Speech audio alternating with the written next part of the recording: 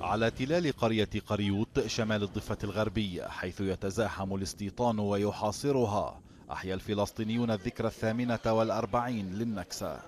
العشرات انطلقوا في مسيرة منددة بالاحتلال والاستيطان وسط القرية وسارت باتجاه الأراضي المصادرة بأمر عسكري إسرائيلي.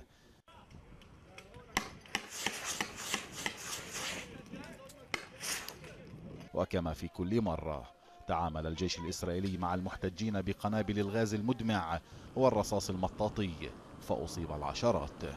أهالي قريوت يعانون الأمرين من هذا الاستيطان. هناك توسعات استيطانية من مستوطنة شيرو ومستوطنة عليه وإغلاق الشارع الجنوبي اللي هو شارع العين الذي يربط قريوت مع كافة المناطق يغلقه الاحتلال. ولن يرهبنا قمعه واعتقالاته وهمجيته ضد أهالي قريوت.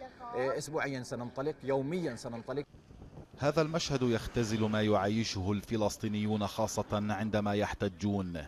أرض إما محترقة لا حياة فيها أو كانت لهم وأصبح يحيا فيها المستوطنون بأمان.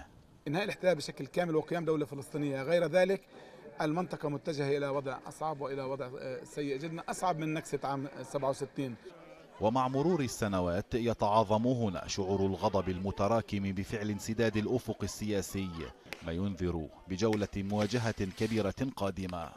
نكبة فنكسة فاحتلال فاستيطان فجدار. مشهد مكتظ بالأحداث أراد الفلسطينيون من خلاله رفع الصوت بأنهم في معازل مقفلة وأنهم بكل الأحوال ضد الاستيطان.